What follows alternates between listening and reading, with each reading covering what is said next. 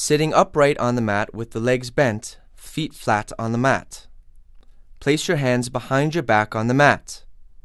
Open your chest, collarbones wide. Movement. Lift the bottom up and sit in a tabletop position. Open your chest, keep your neck long, gaze up. Pause for a count of three.